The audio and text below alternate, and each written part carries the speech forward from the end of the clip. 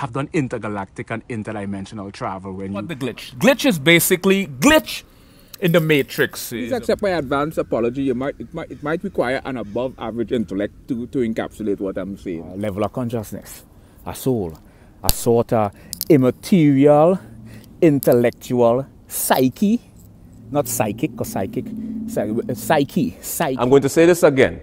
Patterns in nature are undetectable to the unimpaired and uninitiated. I'm going and and and so we've established that. Um, yeah, so that's basically it, man. The five Platonic solids cataloged by Plato. I bet they spoke like that in the 15th or whatever century it was. So you targeted individuals. Use your spark.